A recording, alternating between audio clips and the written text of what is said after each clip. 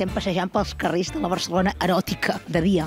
Era mercat i de nit, prostitució. Estem en el vell centre del Raval i del barri xino, barri xinès. El Madame Petit, el bordel més important quasi quasi d'Europa durant 40 anys, estava en aquest costat dret. Era el que avui entenem 5 estrelles d'un hotel. Què passava aquí? Sadomasoquisme. Hi havia una habitació que tenien així com vestits. Em podeu dir, si us plau, quin era el vestit que més demanaven als clients homes perquè elles es vestissin i a ells més els excitava? La de pubilla catalana. Mo monges. De monja.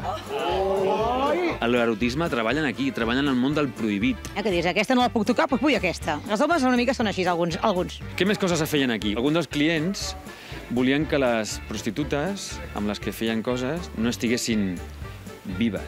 Què dius, ara? La història és molt curiosa perquè aquí hi ha un hospital que és el Peracamps. Us podeu imaginar una mica la jugada? Eh, bona nit. Eh, teniu potser alguna dona que hagi mort i que no tingui molta família? Sabeu que a Egipte estava ben vist la necrofília? A Egipte les mòmies podien tenir 200 anys i vull allà, dale que te pego.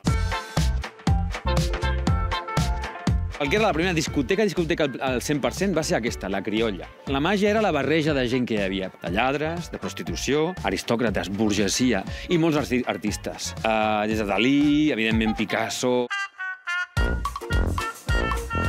Una de les avingudes més importants a nivell d'entreteniment d'Europa. Circs, cabarets, music halls, petits cafès... No hi hauria Barcelona sense paral·lel. I t'hi veies tu, en el Molino i tot això? Era inclús un lloc on socialitzar, era la, la classe treballadora, evidentment. El Tinder actual, una mica. Sí, molt ben definit. Estem al costat de la Raquel Meller, la reina del cupler. Cada vegada que pujava un centímetre de faldilla, vine, vine a veure l'obra de la Raquel, per la qualitat artística, però també perquè suposava un símbol eròtic. La llibertat d'expressió, visca les faldilles curtes. Bueno, ara ja millor massa, no?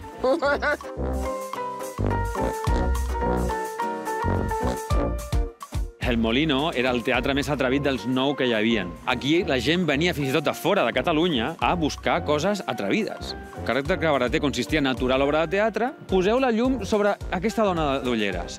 Jo baixava les escales, m'apropava a ella i començava a fer-li preguntes. Què tal, com estàs? Que estàs acompanyada d'ell? I vo- vols companyia? Sí, i amb tu sí. A veure com acabarà aquesta parella, eh? A veure, s'insistia molt en les posicions provocadores.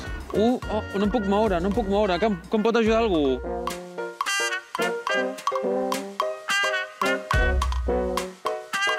Me hubiera gustado ser bailarina aquí. Oh, mira, mira. Sí, me provoca mucha nostalgia. Y bueno, espero que resucite este espíritu.